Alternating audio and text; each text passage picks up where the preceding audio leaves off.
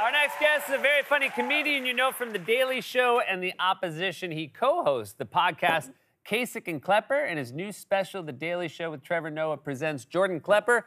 Fingers the Globe, Hungary for Democracy, premieres April 21st on Comedy Central. Let's take a look. Were Hungarian rallies anything like MAGA ones? Do you have any Orban pictures, specifically with him shirtless, riding a velociraptor?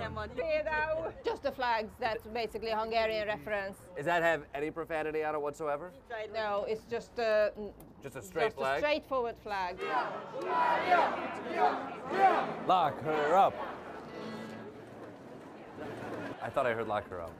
Please welcome back to the show our friend Jordan Klepper, everybody.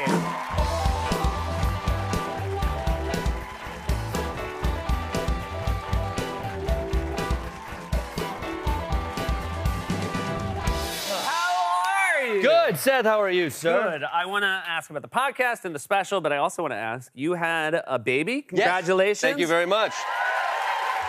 And maybe a, the most stressful time to have one right at the beginning of the pandemic. Yes, exactly. Uh, and for the man, especially. It was really difficult. Really. And tonight, you know, if if the if we can take anything away from today, it's Yes. men's rights and Exactly. Let's talk about the male experience having a child Yeah, during, yeah. during COVID. I'm so glad I get an opportunity. No, it was it was incredibly stressful, uh, and we were we were right in the heart of it. So we didn't know if I'd get to be in the delivery room or not. And we headed to the hospital, and we arrive up on uh, right next to Central Park on the Upper East Side. And we go in there, usually the the dad can hang out in the the lobby yep. Uh, as they run the tests or what have you, go into triage, which is a very scary word. When they said she's going into triage, I'm like, Yeah. oh my God, get the defibrillators. Yeah. It's like, no, it's just a process. I'm like, okay, I get that. You're like they have been misusing it on TV. this is, yeah, I have not been paying attention to ER, clearly. Uh, but they said, well, we don't have this space anymore, so she's gonna go through there. You have to wait outside. There's no more common area. So they sent me across the street at midnight in New York. It was raining. And I sat along uh, Central Park, and if I looked down there, about 30, every 30 feet, there was a man with a suitcase just waiting for their, their partner inside to go through all the hullabaloo. So it was a very, thank you. Again, what the men have been Yeah. through. Yeah. Thank you, I mean, uh, we actually called uh, your wife. We wanted her to be on the show to tell her story, and you answered and said, "Mine's the story you want to hear." yeah. yeah. She's really busy. I think enough people listen to her side of things. Uh, uh, Well, congratulations. I'm glad. very I'm glad it all worked out. Um, so you have been. Uh, uh, you do many things, but you've been going to a lot of uh, Trump events. yeah. And one of the things you do that I, I think has made these um, so enjoyable to watch is you very politely engage with Trump supporters and try to get to the bottom of how they came to whatever position it is they hold. Yes.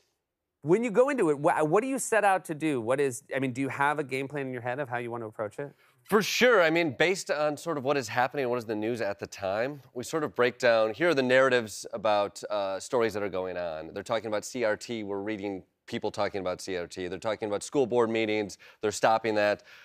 We'll go out with the narratives we hear at home. We'll prep for perhaps responses for those narratives. But when you arrive, uh, you get surprised just like that. You know, like you can only hear so many conspiracy theories on television and then show up and hear somebody say, you know, uh, the reason I keep six feet apart from someone is because six feet is the devil. So therefore, I won't be listening to this devil sort of spatial issues that the government wants to impose on me. And you're like, that wasn't in my New York Times this morning.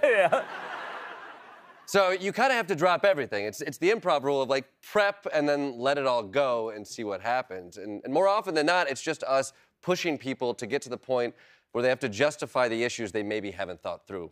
Right. You, there is a, a core. Uh, I know you to be a very nice, very polite person in real life. You do bring that with you to these rallies. Now, obviously, uh, you disagree uh, with the people you're engaging with, but uh, do you find it easy to maintain what strikes me as like a very affable persona when you're talking to them? As a nice guy, is it is it easy to be nice to these? Yeah, yeah, yeah, yeah, yeah. These man, these I gotta tell you. Well, it's it's infuriating. I will say sometimes you want to shake folks. Uh, uh, I try not to, or, or babies. Folks are babies. Again, good dad. I've got a dad brain. Uh, I- I will say what I empathize with when I go to any of these rallies is it's people want community. And I get that. Yes. People want community and they need meaning. And when you go to a rally, what you find is like minded people who have a purpose. And you walk into an arena and you have the former leader of the free world say, You're a hero, you're a patriot, just do what I do. And so I get that. I joined an improv group. That gave me that gave me purpose in a community. Right.